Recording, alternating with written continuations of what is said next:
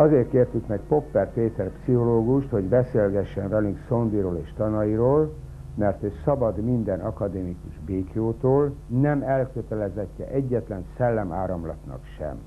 Megkísérli egyesíteni a leghaladóbb nyugat-európai eszméket az ősi távol-keleti filozófiákkal. Továbbá azért nagyon fontos nekünk ő, mert ugyan nem szondiánus, de zseniálisnak tartja Szondi Lipót. Hát megjelent a század elején egy francia neurológia és pszichiátria, tehát ideggyógyászat és elmegyógyászati könyv egybe, akkor azt még nem választották. Kettő, ketté, és annak a képanyagából vettek szondi ezeket a képeket, amiből a tesztek összeállította. Na most a tesztről, nézd, itt van egy borzasztó érdekes kérdés, amit az emberek nagyon nehezen vesznek tudomásul. Hogy az embernek az érzelmei, azok nem állnak akaratlagos szabályozás alatt. Én nem tudom elhatározni, hogy holnaptól utálom azt, akit szeretek. Se azt, hogy szeretni fogom azt, akit gyűlölök. Most ugyanez a helyzet a rokon szenvekkel és az ellenszenvekkel.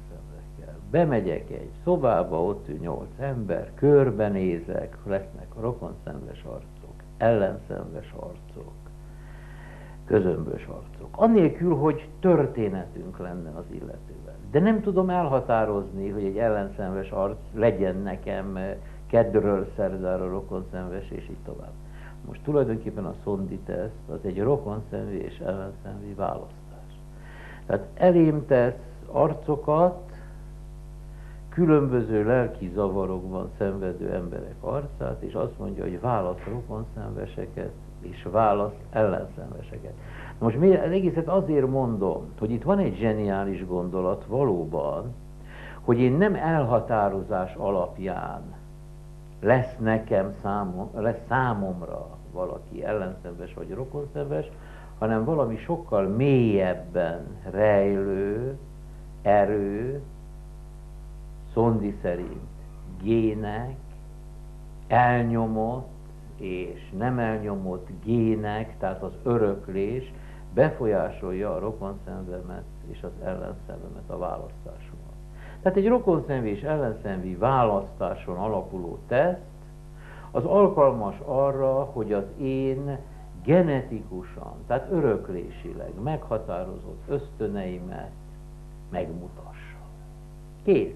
Én azt hiszem, hogy ennél több már szakkérdés. Én csak az alapgondolatot akartam mondani, hogy mi ez ebben a rokonszenvés ellenszemben, ami a nagy ötlet, a nagy teli találat, erre csinálni egy tesztet. A tesztről különben 6400-szor bebizonyították, hogy egy abszurdum. Mert nincsenek egyenlő arányban elosztva a férfiak, a nők, életkor szempontjából, stb. Így csak arról van szó, hogy hat alkalommal megmutatunk nyolc képet, nyolc különböző ideg elmebetegnek a képét, és ennek tulajdonképpen nem szabadna működni. Működik. Tehát ha most tőlem maga megkérdezi, hogy ez a teszt jó-e, akkor azt mondom, hogy jó, ezt a tesztet érdemes használni. Ha megkérdezi tőlem, hogy miért jó, akkor azt mondom, hogy fogalmam sincs, nagyon szégyelem nem szabadna, hogy működjön. Akkor is működik. Ezzel én nem hökkenek meg olyan nagyon, mert ilyen csodák vannak a, vannak a tudományban. Én csak egy praktikus értékét tudom ennek, praktikus értékét tudom ennek igazolni. Elméletileg, ha nagyon őszinte vagyok, hát persze, hogy abszurd elemek vannak benne, mint az egész szondi elméletben. És ugyanilyet tudok magának mondani, terápia. Ugye miről, van, miről szól egy szondi terápia? Egy szondi terápia arról szól, hogy nagyon pontosan igyekszik megismerni egy embernek az őseit, apját, anyját, rokonságát, nagyapját, dédapját, amíg csak tudja, tehát milyen örök, örökletes faktorokkal kell számolni, ez a családfakutatás. Másodszor megcsinálja a tesztet. A tesztet tíz alkalommal ismétlik, azt tudja, hogy kiszűrhetők legyenek a változó és az állandó elemek, és akkor azt mondja körülbelül, most én ezt egyszerűsítem, jó, hogy nézze, maga egy ilyen ösztön struktúrával rendelkezik. Ezt megváltoztatni nem tudja. A kérdés az, hogy ezzel az ösztön struktúrával, és ami ráépül, ezzel a karakterrel, ezzel a személyiséggel, hogy lehet jobban élni a világba, mint ahogy maga él. Tehát tulajdonképpen az én egyszerűsített felfogásom szerint a szondi terápia egy használati utasítást ad végül is, egy közösen kidolgozott használati utasítást az embernek önmagához. Most egy példát elmondok, jó? Egyszer elküldtek hozzám egy fiatal embert. Értelmiség, jogászember volt, fiatal ember, és időnként ilyen mániás vásárlási rohamai voltak. És akkor rátört ez a vásárlási őrület, mánia, akkor ilyen iszonyú drága technikai eszközöket vásárolt, hatalmas összegekért, kritikátlanul, nagy tömegben, aztán, amikor lement, és elmúlt ez a roham, vagy hogy szaknyelven mondják, a súb, hát akkor ott voltak ezek a nagyértékű dolgok, amiket tizedáron, meg féláron, meg negyedáron tudott csak eladni, és egyre jobban eladósodott. Nagyon nagy összegekről volt szó, a család is fuldoklani kezdett. És hát féltették, hogy mi lesz ebből. Na most én mikor ezzel az emberrel beszélgettem, meg megvizsgáltam, hát teszteket, diagnosztikai eljárásokat alkalmaztam, én tényleg azt gondoltam, hogy ez egy ilyen féloldalas ciklus, mindig jönnek mániás periódusok, depressziója nincs, és hát akkor ilyen kritikátlanul vásárol. És azt mondom, hogy nem tudok vele semmit csinálni. Családfát csinált vele? Csináltam, de számomra ez nem sokat mondott. De élt akkor és dolgozott Magyarországon egy szondiánus pszichológus. Fölhívtam telefon, azt mondtam, te itt van nálam egy ilyen furcsa, mániás periódusokban kisikló, értékes fiatal ember, nem tudnál segíteni rajta? Egy küldem. Átküldtem. Teltmúlt az idő, a család fölkeresett, hálát rebegve hogy én megtaláltam ezt az embert. Most erre kíváncsi lettem, mondom, mit csináltál vele tulajdonképpen? Azt mondja, nézd, én is végigcsináltam az egész diagnosztikai eljárást, én is azt gondoltam, hogy alapvetően nem tudok segíteni rajta, nem tudom meggyógyítani. Akkoriban még nem voltak ezek a modern gyógyszerek, lítium és egyebek. Nem tudom meggyógyítani. De gondoltam, hát ha tudok rajta segíteni. Mert nem csak gyógyítással lehet valaki segíteni. Mit csináltam? Először is megtanítottam őt a szondi tesztre. Tartottam neki egy szabályos szondi teszt tanfolyamot. Ugye ez ma halálos bűnnek számítana, mert csak orvos, pszichológus, stb. taníthatom megteszteni. És akkor megtanítottam, azt mondtam, hogy maga minden reggel fölveszi önmagáról a szondi tesztet, mert a szondi teszt olyan, hogy az ember tesztelheti vele saját magát, és kiértékeli és akkor az teszt jelezni fogja magának már az első pillanattól kezdve, amikor elindul ez a mániás. Amikor maga elkezd belecsúszni a mániába. Figyelmeztetni fogja rá. Ez volt az első. Másodszor azt mondtam neki, hogy mind a ketten tudjuk, hogy amikor maga ebbe a mániás fázisában van, akkor kritikátlanul vásárol. De a lényeg a vásárlási aktivitás, a megszerezni, a legyen az enyém, nem az, hogy mennyibe kerül, és ezt maga tudja, akkor legyen szíves és szállja meg a bazárárukat. És vásároljon rengeteg bazárárút, és ne sok százezer forint értékű technikai eszköz. És ez történt. Vagyis Először is ezek a mániás fázisok egy kicsit megritkultak, mert ha valaki egy ilyen intenzív önkontroll alatt él, akkor természetesen, akkor természetesen ez a kontroll kicsit megnyújtja az intervallumokat, az egészséges periódusokat.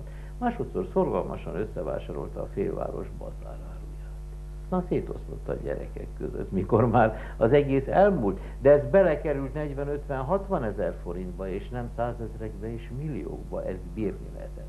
Na most, ha ezt a mai modern pszichiát, pszichiátria szempontjából nézem, ez egy szörnyűség, amit elmesélek, mert ma már modern gyógyszerelés van, sok minden egyéb. Abban az időben ez a szondiánus pszichológus is, és most egy 30 évvel ezelőtti történetet mesélek el. 35 évvel ezelőtti. Ez egy nagyon nagy, ez egy nagyon nagy jót tett, nem gyógyított, de teremtett egy olyan helyzetet, hogy a mániás rohamai ellenére szociálisan meg tudott maradni és élni tudott. Ha elindul egy pszichoterápia, amely csak intellektuálisan, csak az észre appellálva megy, és tehát csak az önismeretét fokozza egy embernek, és mondjuk az embernek az a baja, hogy ő egy szorongó, vagy egy fóbiás, tehát nagy, irreális félelmek gyötrék. Hogy tudja, mi fog történni? Hosszú-hosszú, sok éves pszichoterápia után is egy önmagáról keveset tudó szorongóból, fóbiásból lesz egy önmagáról sokat tudó szorongó fóbiás. A szorongás és a fóbia marad. Ezeknek a kizárólag intellektuálisan vezetett terápiáknak ez a nagy bajuk. Ez a nagy bajuk. Szóval itt több történt, mint hogy az önismeretet fokozta. Itt egy fölismerése volt, nem gyógyította meg, tehát nem igazi gyógyítás volt. Itt volt egy felismerése, hogy egy adott helyzetet hogy lehet intelligensen megoldani. A valódi gyógyítás az nem ez, de a valódi gyógyítás ott mindig érzelmek akkor szóval nem akarok titokzatos lenni. Szóval azt akarom mondani, hogy a valódi gyógyításnak az a feltétele, hogy az ember ne csak intellektuálisan élje újra önmagát, hanem érzelmileg is. Újra éljen meg olyan helyzeteket, mintha ma történne. Emocionálisan, indulatban, kétségbeesésben, sértettségben, és élje meg másképp. És ha meg tudja élni másképp azt, amiben valaha belesérült lelkileg, akkor fog meggyógyulni. Ezt úgy hívják a pszichoterápiában, hogy katarzis, vagy úgy hívják, hogy korrekciós élmény. Ugyanazt másképp élem meg, hangsúly az emocionális, az érzelmi újraélésen van. Nem, nem ezen. Szerintem. De hát ez az én, ehhez persze kell egy önismeret is. Csak az kell, hogy ez ne álljon meg intellektuális szinten, hanem menjen le érzelmek, ösztönök mélységéig, és éljük meg újra önmagunkat. De az önismeret az még nem fegyverez fel engem az önmagamon való változtatás eh, eszközével. Hadd mondjak egy más dolgot, ami tulajdonképpen mulatságos és érdekes. Tudja, eh, vannak olyan eh, van olyan felfogás, hogy egy emberi közlés, akár egy pszichoterápiában, vagy kettőnk között, az különböző szinteken lehetséges, és ezt elnevezték, nem kell megijedni, e, irodalmi műfajokról. Van egy olyan közlés, amit úgy hívnak, hogy epikai közlés. Epikai közlés a sztori. Elmesélek egy jó történetet, magamról akár most azt mondják, hogy a sztori, az epikai közlés az az énemtől a legtávolabbi, a legkevesebb érzelem van benne, a legkevesebb személyesség. Szóval az az, mikor már úgy eltávolodtam valamitől, hogy már történetet tudok belőle formálni. Ez az epikai közlés. Általában ezzel kezdődik különben minden terápia is, ezen a felszíni szint, vagy felszíni fejtés, így mondják hogy az ember történeteket mesél, jó történeteket önmagáról. Ez hideg. Tehát muszáj hivatkoznom Thomas Mára, akár a Tonio Krögerben, akár a Faust regényben. Mikor azt mondja, hogy a forró élménnyel nem lehet mit csinálni, a művész nem tud mit csinálni a forró élménnyel, de meg kell élni. Aztán el kell távolodni tőle. És mikor kihűlt az élmény, akkor elkezdhetem formálni. Regényé, novellává, és ebből jön ki a művész örök rohangászása vagy pokla a elviselhetetlenül forró és az elviselte hideg között. Szóval ebben van valami, ezt a Thomas Mann is tudja. Most van egy második közlési szint. Úgy hívják, hogy drámai közlés. Drámai közlés van akkor, amikor akcióba akarok valakit lendíteni. Azt mondom, gyere ide, menj el, szeress engem valamit, azt akarom, hogy a köztünk lévő viszonyba ő lépjen be, vagy teremtődjön egy történés közöttünk, akció. Én közelébb sokkal feszültebb érzelmileg, sokkal telítettebb érzelmileg, nem véletlen, hogy a, mondjuk egy terápiás folyamatot meggyorsítani, pszichodrámát kezdenek játszani, tehát nem maradnak meg az epikai szinten. És van egy harmadik szint, a lírai közlés. És a lírai közlés azt jelenti, hogy most történik bennem valami, és most kifejezem, azonnal. Azonnal kifejezem. Tehát ha nagyon primitíven akarok valahogy példát mondani, ha én beleülök most a rajszögbe, és fölordítok, ez egy lírai közlés, most fáj a fenekem, és most ordítok, most kifejezem ezt a fájdalmat. Tehát amikor azt mondják egy pszichoterápiában, arról beszéljen, ami most keletkezik magába, ezt azért csinálják, mert katartikus élmény, mert ebből indultunk ki, a katarzisből, a korrekció, a belső változás csak a lírai élmény és a lírai közlés szintjén van. Akkor változik meg valaki bennem.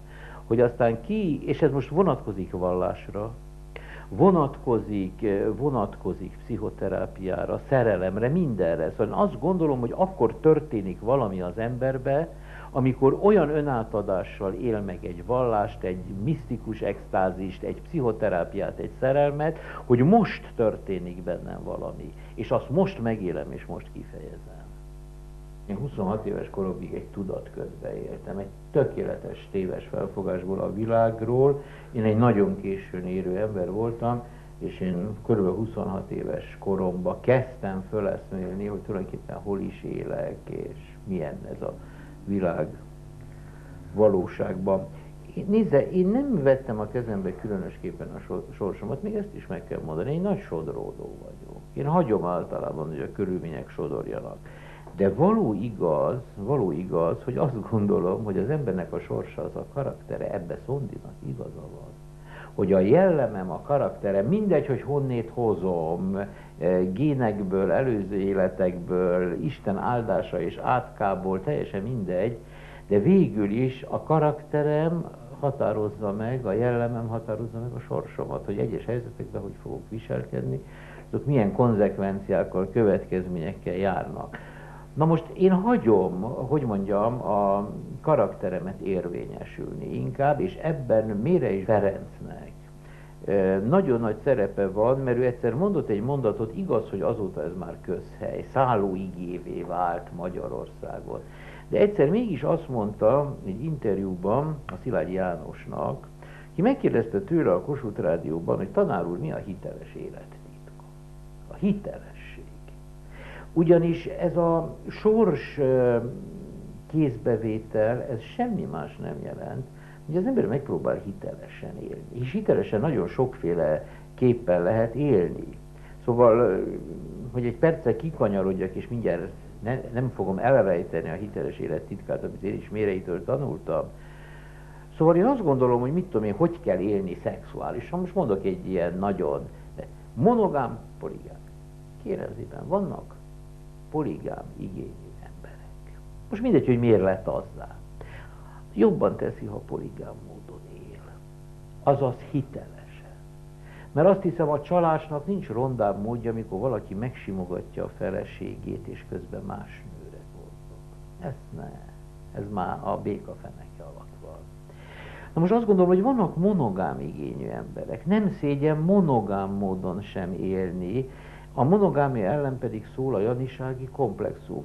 Erre nagyon büszke vagyok, ezt én írtam le először, Hetzből természetesen, hogy a férfiak nagy zöme janisági komplexum nevű betegségbe szenved, belemegy olyan szexuális kalandokba, ágyba bújik olyan nőkkel, tulajdonképpen nem kell neki, csak hogy bizonyítsa, hogy ő a Jani önmaga és a környezet számára. Ez is egy marhaság. Hitelesen kell élni. Most a hiteles élet titka, és most visszajöjjek méreihez, azt mondta, hogy fiam, ez a titok borzasztó egyszerű, egy mondat. Az embernek nem kell mindig jól járni. Aki ezt a ki belső kényszert el tudja engedni, hogy neki mindig jól kell járni, neki mindig hely, minden helyzetből győztesen, nyerességgel kell kikerülni, az belsőleg rettenetesen szabad lesz. mert el fogja tudni viselni a veszteségeket és a bukásokat is, a földreeséseket is, sőt, megnyílnak új perspektívái a világnak, amit csak úgy alul nézetből lát az ember. Egy élet hosszú, mondta mire is, sok mindennek bele kell férnie, összeomlásoknak, újrakezdéseknek is.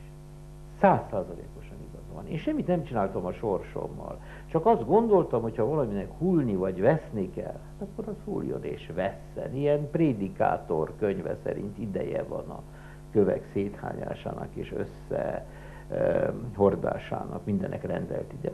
Akkor vesszen, aztán újraépítünk valamit, fölépül, megint tönkre megy, nem, megint fölépítjük.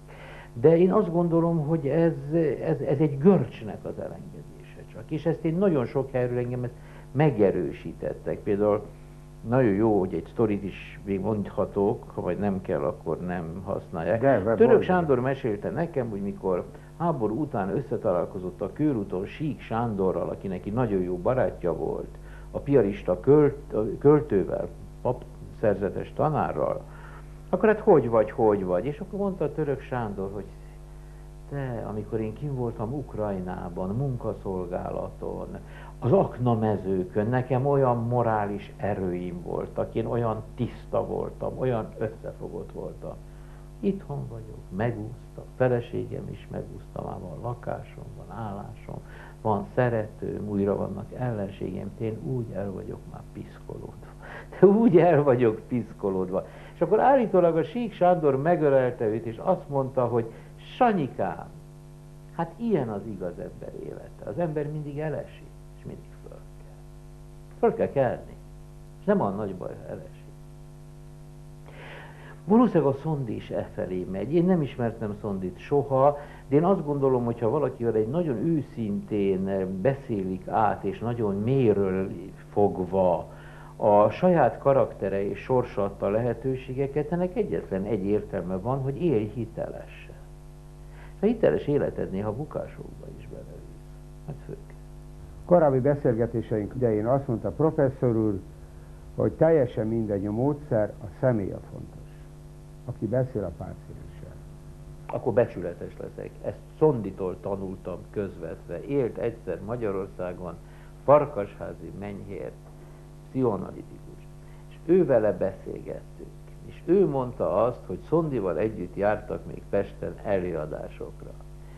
És ilyen iskola, olyan irányzat, ilyen módszer, amolyan. És hát ő megkérdezte, hogy mentek el együtt a Szonditól, hogy Lipód bátyám, Hát most már annyi mindent hallottunk, hát melyik az igazán hathatós és eredményes gyógyító módszer?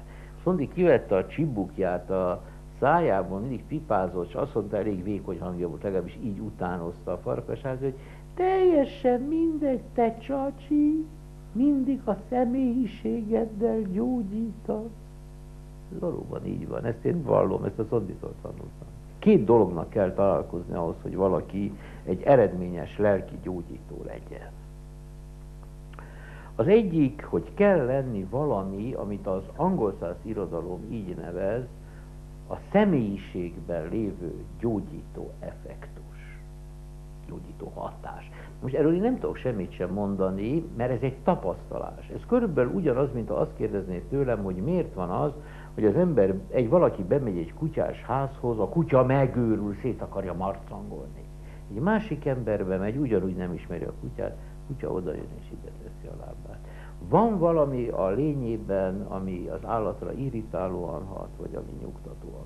Most én azt gondolom, hogy egy létező valami, vannak emberek, akiknek a lényében, személyiségében, ahogy tetszik, van valami megnyugtató, bizalmat keltő, a hallgatásukban van valami hívás, és egy ilyen ember, bérelszámoló vagy gépészmérnök, akkor is ki fog alakulni a munkáin a saját magánlelki klinikája, neki fogják elmesélni, hogy a feleség megcsalt, fér félrelépett, a gyerek megbukott, az összes gondokat és bajokat. Ezt nagyon sokszor lehet látni. Most ő tulajdonképpen egy ilyen lelki praxist csinál, de csak úgy, mint a hályok kovács. Hogy nem tudja igazán mihez nyúl hozzá, és ezért a dolog, dolog e, veszélyes is lehet. Most van a másik, a tudás. az elméletnek, a módszertannak a megtanulása, ami borzasztóan fontos dolog, egy eszköztárnak az elsajátítása. De ha ez nem párosul ezzel a személyes kvalitással, akkor teljesen impotens lesz és hatástalan. Tehát olyan nagy tudású pszichológusokat lehet látni, aki nem tud szóbalni egy másik emberrel, olyan idétlenül mozog emberi helyzetekbe, miközben százezerszer többet tud, mint például én. Akinek viszont van egy ilyen kontaktus teremtő, meg bizalomkeltő, nekem is van, most miért, miért szerénykedjek? Tehát ezt most a kettőnek össze kell találni. Az egyik impotens a másik nélkül, a másik veszélyes az egyik nélkül. Én szerintem, ha összetalálkozik valakiben ez a fajta ö, gyógyító effektus egy szintű tudással, akkor egy nagyon eredményes ö, terapeuta lesz. Ö, ö, azért kezdek itt kicsit dadogni, mert nem mindenki számára.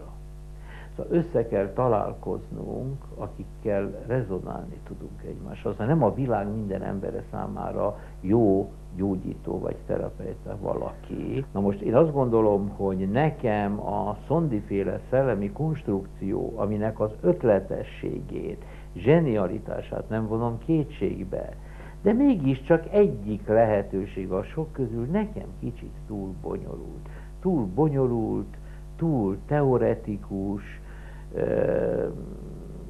én egyszerűbben gondolkozom a világ dolgairól. Én tényleg egyszerűbben gondolkozom. És nekem lazább tanok jobban, jobban fekszenek, meg én, hogy mondjam, semmilyen tanhoz nem csatlakoztam. Nekem például van egy mágiám. A mágiám az, hogy eljön hozzám valaki a lelki bajaival, és azt mondom, hogy beszélgessünk néhány alkalommal. Néhány alkalommal beszélgetünk, más nem történik.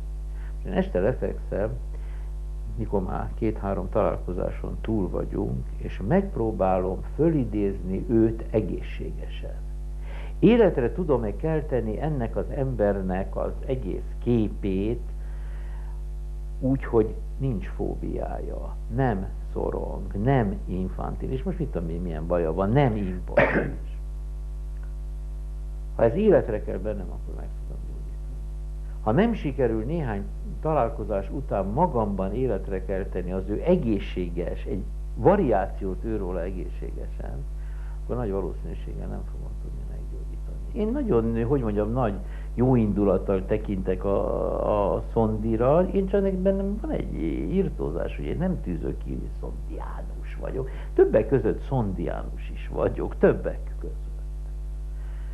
De nem, hogy már nem csinálok a Szondiból egy profétát, akihöz valamiféle irracionális hűséggel kell ragaszkodni, és azt kell mondani, hogy Szondi ezt nem így mondta, és ugyanakkor nem érzem azt, hogy nekem egy skolasztikus módon kellene úgy akár a Szondihoz, vagy Freudhoz, vagy bárkihez ragaszkodnom, mint a középkorban. Következőt gondolom, hogy ugye a Freud azt mondja, hogy a kultúra akkor kezdődik, kultúrán mindazt érti a Freud, ami az embert az állati lét fölé emeli, amikor az ősember először ellenségére rikácsolt, artikulátlanul ökrét rázta, de nem ütötte agya. Lemondott az ölésről. Valamiért. Mindegy, hogy fél, nem fél.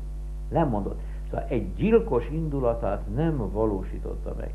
Na most ugye hozzáteszem azt is, hogy a Freud azt állítja, hogy az civilizáció évezredei alatt egyetlen egy ösztön sikerült csak az embernek kiirtani önmagából, amit nem kell már elfolytania.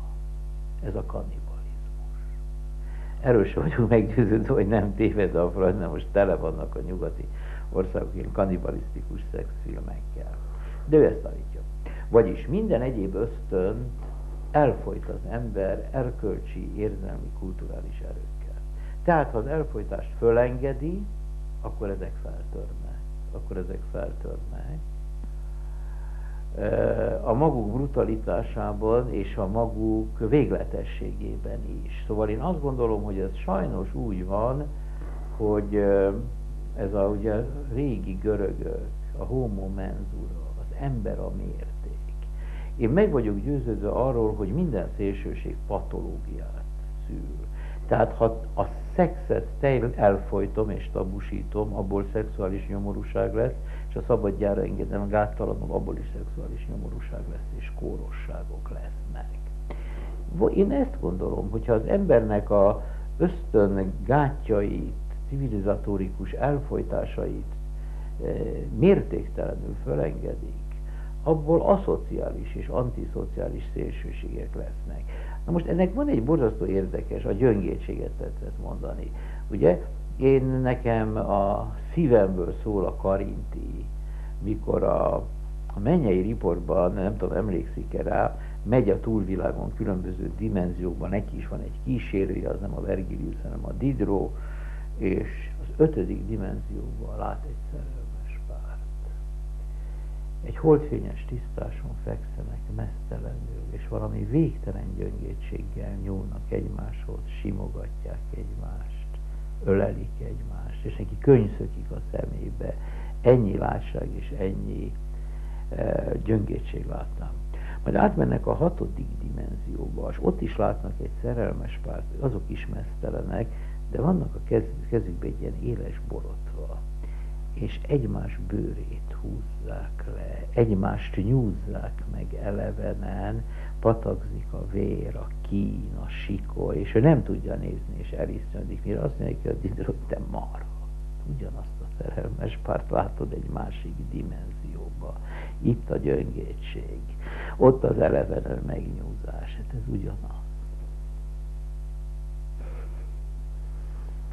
Én azt gondolom, hogy ugyanazokból az ösztönökből, ugyanazokból a forrásokból e, fakadnak a nagy pozitív és a nagy negatív történések. Tehát én azt gondolom, hogy az ember csak azt tudja igazán meggyötörni és megkínozni, akit nagyon szeret, nem a közömböseket.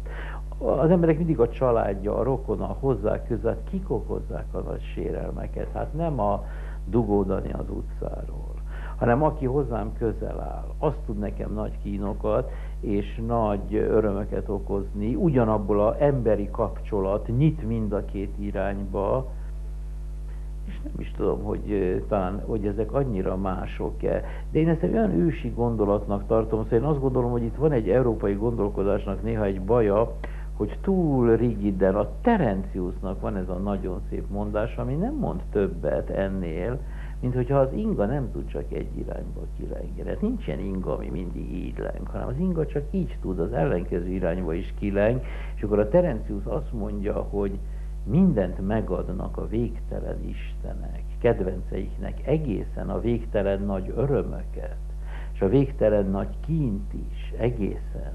Mégis mi ezt mondja, az egy tőről fakad.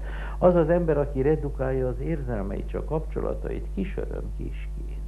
Aki nagyon átengedi magát bárminek, az egyben nagyon kiszolgáltatottá is válik. Legyen az egy férfi, egy nő, egy szerelem, egy hivatás, nagy öröm, nagy kín, ugyanarról a tőről fakadott. Miért édes az ülés?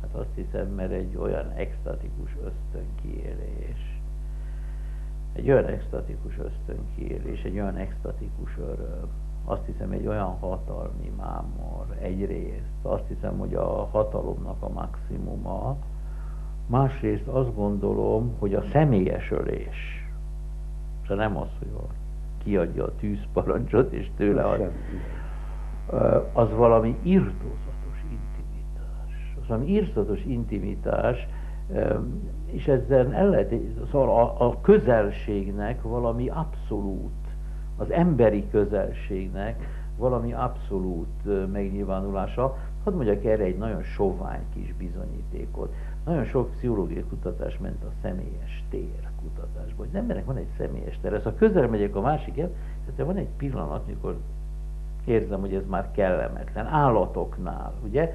Mert sétál gyanútlanul a, ez a bokor már iszonyú burrogással fölrepül, ami frászt kapja egy fácán. Nem is vette észre, de beléptem a személyes terébe, és akkor ő reagál, vagy elmegy, vagy mit tudom, csinál.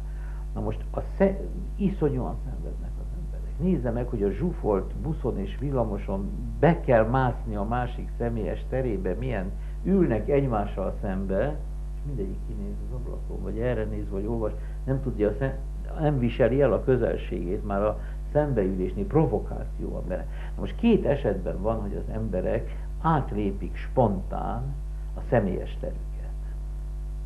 A szerelemben, szexusban, Igen, és a támadásban, az agresszivitásban. Akkor bemegyek a másik személyes terébe. Ugyanaz. Ugyanaz az intimitás akarom mondani, hogy oda kell hozzá mennem mélyebbe a személyes terébe, a szerelemben is, és az agresszióban is. Hát akkor most azt mondjuk, vagyis a tanár azt mondja, amit a Szondi. Hát Kicsit hát felszabadítom. Persze. És már ott vagyok a szexusnál, és ott vagyok a, az agressziónál. Persze, Szondi nagyon mélyre látott, szóval én azt gondolom, hogy neki egy ö, fantasztikus, egész elképesztően tud mélyre szaladni egy-egy pillantása a szondinak, és ezt nem is akarom, szóval hogy mondjam, a, a szondiról ugyanazt gondolom bizonyos szempontból, mint amit volt a Freudnak egy tanítványa Stékkel, ki kitalálta az aktív analízis, gyorsította az analitikus folyamatot, stb. És a Freud meg nagyon rosszul tűrte a tőle eltérőket, meg újítókat, és állítólag egyszer azt mondja az anekdót, hogy volt egy nagy veszekedésük a Stékelel, és azt mondta a Freud, hát ön valóban azt képzeli, hogy nagyobb, mint én? És a Stékel azt mondta, hogy jaj, de hogy. Mester maga egy óriás, és én egy törpe vagyok. De én az ön vállán állok, és ezért messzebbre látok. Mondta. Hát ennél szebb bókot nem... Hát valahogy így van a Szondi is, hogy Szondi bizonyos vonatkozásban messzebb lát, mint a Freud, azt gondolom. Ami nem azt jelenti, hogy az egész életműve az jelentősebb, de bizonyos tekintetben mélyebbre szalad és messzebbre lát, ugye, és hát főleg egy grandiózus vállalkozása van, ami nem tudom, hogy sikerült, hogy ő megpróbálja a genetikát, mert nézze, hadd mondjak, a visszatérő Szondiról beszélünk van egy óriási kérdő, a kérdő a következő. Hogy a fenébe kerül be az egyéni ember éle, élményvilágába a mítosz? Hogy kerül be ősi történések újraélés? Hát is a Freud mit mond? hogy a kasztrációs félelmek, az ödipális helyzetek, stb. stb. formájában az ember egyénileg újra él, ősi történeteket, mitoszokat, az ősapa megölését, a fiú kasztrálását, stb. stb. De hogyan? Hát itt van Kovács Benő Budapesten, hogy kerül bele e, őstörténet a Neandervölgyből? Hogy éli ez? Hogy jön bele? Na most ez egy borzasztó érdekes, mert tényleg újra éli, ezt nem lehet letagadni, és nem lehet tudni, hogy hogyan éli újra. Most erre jött, nem, nincs rá magyarázat. Hogy kerül belém az őstörténeti élmény? Na most erre volt két grandiózus kísérlet, én, az én fejemben ez így áll össze, a Jung és a Szondi. A Szondi kísérlete az, hogy adjon egy magyarázatot a fai emlékezésre. Az egész Szondiféle genetika, recesszív gén, stb. elméletek, egy grandiózus kísérlet, hogy ezt megmagyarázza genetikai bázison, hogy ez hogy keletkezik, és hogy jönnek bele ezek az arhaikus élményeket tükröző ösztönök, stb. stb. Hogy a Szundinak ez a genetikai elmélete nem áll helyt a modern molekuláris genetika fényében, ma, ezt meg kell mondani, meg mit tudom én, minden olyan ideggyógyász, neurológus, ugye azonnal kitér a hitéből, ha én azt mondanám neki szondi alapján, hogy az epilepsia az egy ösztönbetegség, holott hát kimutatjuk a agykérekben, az api, vagy kéreg alatt az epilepsziás gócokat, elektromos impulzusaikkal, de én azt mondtam, hogy most. Fene se tudja, hogy a tudomány sokszor aztán megcáfolja önmagát. A másik zseniális kísérletező, a Jung a kollektív tudattalannyával, az archetipikus élményvilág valószínűsítésével, ő is magyar, de mind a két ember az én szememben erre a freudi empíriára próbál magyarázatot adni, hogy hogy tudom újra élni az e- egyénileg az emberiség kollektív múltját. Nagyon nehéz kérdés, borzasztó nehéz. Nagyon fontosnak tartom, hogy a szondi abból indul ki, hogy először el kell fogadni az embernek saját magát, őseivel, ösztönstruktúrájával. Aztán, le, aztán lehet azon gondolkozni, és próbálgatni, hogy ezzel hogy tudok mozogni a világban, a társadalomban, az emberek között, ezzel a, ami van nekem. Na most, ha én ezt el akarom mondani közérthetően, akkor azt mondom, hogy a Miller a bűnbeesés után ugyanezt írja meg, hogy azt mondja, hogy a nő azt álmodja, hogy hülye gyereket szült, nem lehet elviselni, és akkor azt mondja, hogy ha meg tudnám csókolni, volt egy ilyen érzésem álmomban, akkor, akkor el tudnám viselni, és akkor karjába veszi, és megcsókolja ezt a hülyén vigyorgó nyálas arcot a gyereke arcát. Erre azt mondja a Miller, mindig Millernél vagyunk, hogy hát így vagyunk az életünkkel is, néha kicsit hülye formára szüljük, nem olyanra sikerül, amilyenre szeretnénk, de mégis egy lehetőségünk van csak, hogy ez vagyok én, ez az én egyetlen életem, erre először igent kell mondani, és azon belül azt már lehet faragni. Szondi ezt mondja. Először meg kell tudni, hogy ki vagy, honnét jöttél, milyen vagy, és mondj rá igen, és azon belül eltöprenghetünk, és megkereshetjük a modus vivendiket, hogy ezzel hogy lehet élni. Ez a szondinak ugye az egyik, én szerintem nagy, hát hogy mondják divatos szóval, üzenete. A másik pedig, a másik pedig, hogy nem lehet mindent megoldani, nem lehet mindent megváltoztatni az, em, az emberben, hanem egyfajta elfogadás és igenzmondás kell önmagára. Még arra is, amit nem szeretek magamban. Arra is, ugye? Most ezt megint át tudom fordítani irodalomba is egyszer. Ezt én el, több helyen elmondtam, de elmondom még százezerszer, mert nagyon szeretem.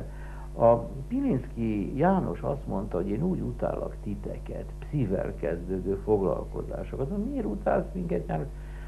Azt mondja, mert ti mindig úgy gondolkoztok, hogy az életben problémák vannak, és megoldásokra van szükség. Mondta, mondja a Pirinszki. Na már most ezzel ti iszonyú terhet raktok az emberekre. Minden ember, mert van egy sugallatotok pszichológusoknak, pszichiátereknek, hogy az élet minden problémája megoldható. Honnét veszitek és akkor az emberek úgy érzik, hogy csak ő olyan ökör, hogy nem tudja megoldani az élete problémáit, az összes többi. Ez nem igaz, mondta. Vannak megoldható problémák, és vannak olyan problémák, hogy nem lehet az életben megoldani, mondta, és ezért az a fajta gondolkodás, a papos hangján mondta, hogy az életben problémák vannak, és megoldásokra van szükség, az nem igaz, édes barátom. Az életben nagyon sokszor tragédiák vannak, és írgalomra van ez kicsit hiányzik a pszichológiából és a pszichoterápiából, a szondiba benne van, hogy néha egy bizonyos irgalommal kell az embernek önmaga iránt lenni, hogy hát ez van, ezek az őseim, ezeket hozom génikusan, hát, hát, hát nem lehet ezt a dolgot kidobni magamból. Ott vérzik el a legtöbb pszichoterapeuta, hogy elkezdi hallgatni a klienst. És hogy a kliens beszél, ő elkezd reagálni válaszol magában, gondolatilag. Asszociációk, érvek, ellenzék. Tíz perc múlva már saját magára figyel, és a saját asszociál, azt se tudja, miről beszél a kliense. Komolyan mondom. Szóval megtanulni azt a művis kízist, hogy hagyom hatni magamra azt az embert először. Nem reagálok rögtön minden fél mondatára, hanem hadáljon bennem össze. Aztán, amikor elment, akkor esetleg leülök, 10 percre, és akkor szabadjára engedem az összes válaszreakciómat. Rögtön előtérbe kerül ugyanígy. Ha tanít valamire, vagy ha figyel egy másik emberre, az első, amit szerintem meg kell tanulni, hogy nem lehet rögtön, hogy az én földuzzat énem elfedje az egész horizontot, és attól kezdve már magammal polémizálok, és alapvető dolgokat kihagyok. Meg lehet csinálni, kihagy egyszer, nem hal meg perceptuális hárítás mondják ugye a szakmában. És nem hal meg, hát ez egy gyógyító tevékenységben borzasztóan rossz, hogyha én nem hallom meg a felét annak, amit a másik ember mond, mert a saját polémikus eh, válaszaimra figyel Indiában éltem, akkor eh, láttam egy szorongásos, depresszív formát, Szondi nagyon örülne, elmesélhetném neki. Láttam egy szorongásos, depresszív formát, amit fiatal olyan 17-20 valány éves kor körül, amikor megértik a újratestesülés, a reinkarnáció tanát. Hogy nem lehet semmi erről meglógni. Nem érdemes undok feleségemtől elválni, mert majd visszajön a következő életemben. Nem érdemes öngyilkosnak lenni egy rákos halál elől se, mert kellene nekem rákot kapnom a következő életemben. És ezt úgy lehet megélni, hogy az élet egy csapda, ahol nincs menekülés, és vágyva tekintenek az európaira, most ezt kicsit ironikusan mondom, ahol ilyen nagyszerű lehetőségek vannak, mint az öngyilkosság, hogy ki meneküljön helyzetekből. Ugye, és akkor az ember végül is fanyar mosolyra fakad, és azt mondja, hogy Uram Isten, Európában attól szoronganak az emberek, hogy meg kell halni. Indiában attól szoronganak, hogy nem lehet meghalni. De szorongani mind a két kultúra szorong, és mind a két fajta ember szorong. Ez a lényeg, mert a szorongás a primér, és ennek örülne a szondi. Én nem hiszek abba, hogy az emberi személyiség az egy szerkezet. Ezt mi is tanítjuk, én is így tanítom, mert nem tudok jobbat, de titokban, szóval taníthatóság szintén nem tudok jobbat, de titokban azt hiszem, hogy az emberi személyiség ez egy halmazat. És egy vagyok annyi miszt, annyira misztikus, hogy ez, ha az ember megélt már esetleg sok életet, tehát esetleg igazuk van a hinduknak, akkor az emberben sok személyiség lehetőség van. És az manifestálódik, amit hívnak, amit a környezet megprovokál. Mozartról is azt gondolom, hogy ha nem kap környezeti provokációt, azaz nem tanítják zenére, akkor egy szépen fütyörésző juhász marad, muzikális juhász.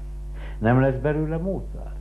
De ha nekem nincs biogenetikus kódom valamire, azt meg nem lehet kifejleszteni benne. Ezért érdemes oda nézni a genetikai struktúrára. Ebben a szondinak tökéletesen igaza van. Na most én azt gondolom, hogy ugyanez van a dologban is, a terrorizmusban is, vagy bármi. Most hadd mondjak egy nagyon népszerűtlen példát, jó? Kivágja legfeljebb. Él Grúziában egy szent életű kispap. Alakulhat volna úgy az élete, hogy így is hal meg. Eljön érte a forradalom, kap egy környezeti provokációt, a világ egyik legnagyobb zsarnoka lesz belőle, a Josip Vissarionovicsból. Megváltozott-e a személyisége? Nem hiszem, azt hiszem, hogy más hívásra egy másfajta személyiség lehetőség lépett elő, és manifestálódott.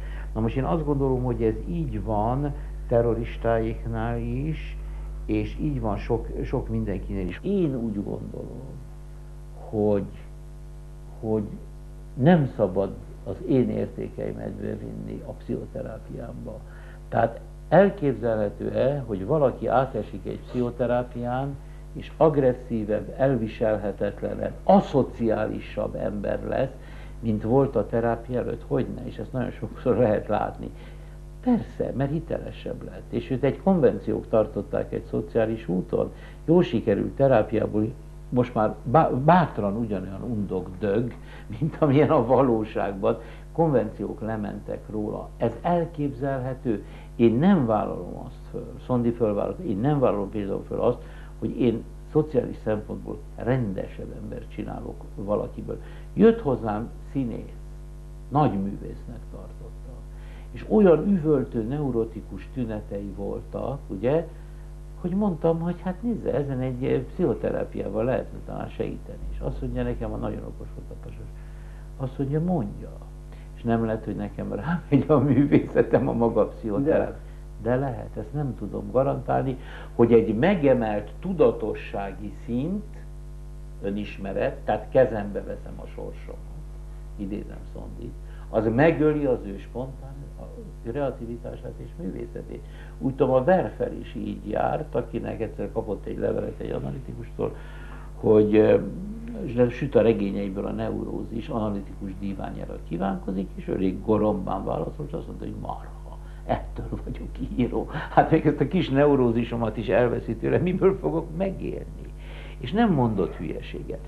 Tehát én azt gondolom, nem vagyok biztos abban, hogy az egy, és most jön a lényeg, a társadalmilag hasznos ember. Tessék mondani, hol a haszon?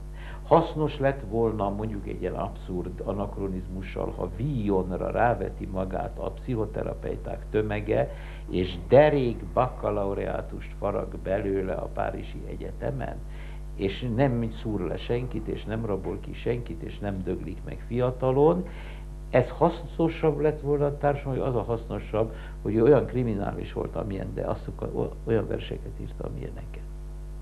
Szóval én nem hiszem, hogy, és, és ezért nekem biztonságosabb, de ez most már egy személyes vallomás, mint pszichológusnak, hogy én nem esküszöm föl azoknak a szociális értékeknek a bevitelére az általam végzett pszichoterápiában, amiben én magánemberként igent mondok, de hát mi köze ez a kliensnek, hogy a Popper mire mond igent és mire mond nemet. A pszichológusokat, pszichiátereket legalább olyan érzékeny embereknek tartják, mint a művészeket. Popper Péter ezzel szemben azt mondja, hogy azok az emberek választanak, most választanak segítő foglalkozást, akik szeretetképtelenek, erről én meg vagyok győződve. Hogy az az ember, aki tényleg szeretőképes ember, az kiéli emberi kapcsolataiban. Na most vannak emberek, akiknek van egy hiányosságuk, szeretetképtelenek, a szónak a polgári és köznapi értelmében, és megérzik, vagy észreveszik magukban ezt a hiányt, ezt a fajta érzelmi nem teljességet, és kompenzációképpen elmennek jó embernek, én is ilyen vagyok, azt hiszem, el, elmennek eh, segítőfoglalkozású, rendes embernek, és engem elkezdte a fantáziámat izgatni, a fölismerésem, és hát nagyon sok ember járt hozzám kiképzésre, akik mind ilyen segítő szakmájúak, és egyre több esetben láttam azt, hogy ez valóban így van, nem tartom olyan érzékenynek őket, nem tartom érzékenynek őket, hanem azt gondolom magunkról, hogy nagyon sok hamis motivum víz be minket, amiből azért egy jó terapeuta lehet. Tehát sok közöttünk a szeretetképtelen ember, aki ezzel a segítő foglalkozással kompenzál egy hiányosságot. Aztán azt is látom, hogy sok közöttünk, tehát sose veszem ki magamat, sok közöttünk az olyan ember, aki életgyáva, életgyáva, és azzal éli ki magát, hogy belekukucskál más emberek sorsába, intimitásaiba. Tehát nem tartom marhaságnak a Szex és a Hajadon című filmben, van egy szakállas pszichiáter, egy vibályos angol film, azt hogy uram, miért lett több pszichiáter? Mert imádom a piszkos történeteket, mondja a pasas, aztán nagyon sok olyan ember van közöttünk, aki nagyon labilis pszichésen, és vonzák az olyan szakmák, amelyek helyzeti fölényt adnak. Ez az orvos, a pedagógus, a pszichológus, szóval aki mindig fölényben van, mert mindig egy elesett emberrel áll szembe, egy segítség után kapaszkodóval, és ez az ő pszichés labilitását támogatja ez a reláció. Most én nem mondom, hogy csak ilyenek vannak, meg van, amit magamról elismerek, például azt gondolom, hogy én nekem is bajaim voltak, vannak a valódi szerető képességemmel, és sokat oldott meg az, hogy én egy ilyen segítő szakmát végeztem, valamit nem, nem fogadok el magam számára. Most nem mondom, hogy csak ilyenek vagyunk, de hogy ezekben a segítő szakmában sok az ilyen motivum is, és ne dicsérjük már agyon magunkat, hogy mi, hogy mi milyen érzékenyek vagyunk, milyen empátiás készségünk van. Volt egyszer egy kliens, aki eljött hozzám, és azt mondta, hogy tudja, milyen nehezen jöttem magához, nagyon értelmes ember volt, tudja, milyen nehezen? Mert én látom a pszichológusoknak a tömegét képernyőn. És van egy mosoly, egy műmosoly rajtuk, és egy műarc kifejezés, amely a következőt fejezi ki. Én ugyan minden percben kész vagyok együtt zokogni veled, de az élet mégis szép. És a maga arcán nem láttam ezt a műmosolyt, ezért jöttem el, mondta. Ez nekem egy nagyon nagy dicséretem volt, nagyon nagy dicséretem volt. És, és ha már dicsérem magam, szóval én nem vagyok a nagyon önmagunktól, mint pszichológusoktól elragadtatva, és magamról meg, hogy még ha már itt belehúzott ebbe a csőbe, azt gondolom, hogy én egy zűrzavart keltő pasas vagyok, de ezt én mindig el is mondom külföldi egyetemeken is. Én nem, igaz, nem tudok igazságokat tanítani. Én zűrzavart tudok csinálni a fejekben, akár valláspszichológiát tanítok, akár pszichoterápiát, és ezt én nagyon hasznosnak tartom, mert az űrzavarból aztán csináljon az ember magának saját ereiből rendet, akkor az úgyis összezavarosodik megint, akkor csináljon megint rendet, eltelik az élete ezekkel a dolgokkal. És most dicsekszem, most egy nagyot fogok dicsekedni. 92-ben, mielőtt elfogadtam egy, ennek az Izraeli Egyetemnek a meghívását, tartottam öt szombat estét a Fiatal Művészek Klubjába, keleti filozófiákról, keleti-nyugati szintézis lehetőségekről. Utána befejeztem, és ott maradt egy marék ilyen fiatal egyetemista strát, és azt mondják, hogy ők jól érezték magukat jutalmul, elmondják, hogy hogy neveztek engem el. És azt mondták, hogy magát elneveztük a bizonytalanság a gurujának. Ez maga mondta de tudja minket elemi iskolás korunktól mindig az igazságra tanítanak. Az egy és oszthatatlan igazságra. Ez így van. És olyan jó volt hallani valakit, aki azt mondja, hogy talán lehet, van olyan elképzelés is, nem kizárható, stb. stb. Maga lett a bizonytalanság gurúja, ez nekünk nagyon jó volt. És ezt én így gondolom. Talán tévedett az a kollégája, aki azt mondta, hogy az idő túlhaladta a szondi elmélet a gondolatot nem haladja túl sohasem az idő. Szóval azt hiszem, hogy a szondinak a szemlélete az emberi életről az mindig aktuális marad, az mindig egy fontos megközelítési szempont. Hát úgy, hogy a szondi belemászott genetikai részkérdésekbe, ebben a recesszív gén elméletében, amivel magyarázott bizonyos dolgokat, amit a pillanatnyi genetikai kutatások nem igazolnak.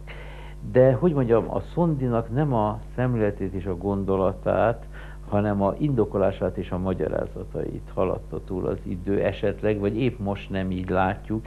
Én ezt mindig azért mondom, mert én már annyit megértem arra, hogy a koleszterin szint az veszélyes, a szint nem veszélyes, mégis veszélyes, mégse veszélyes, nem biztos, hogy így fogjuk látni 50 vagy 100 év múlva is. De a gondolati elem, szóval az, amit a szondi pszichológiai, és ha szabad ezt a elavult szót használni, életbölcseleti jelleggel megfogalmaz az emberről, az nem avult el. Amivel indokolni próbálja, az meg ki a fenét érdekel, lényegtelen ugyanis. Teljesen lényegtelen. A szondi észrevett egy ösztönstruktúrát, észrevett egy lehetőséget ennek a megismerésére, észrevett egy lehetőséget, ahogy ön szereti a kifejezést, a sorsom kézbevevésére, észrevett egy lehetőséget módusz vivendik találására, teljesen rendben van a dolog, nem avult el, hogy genetikailag tévedett az epilepsia megítélésében. Érdekes? Nem.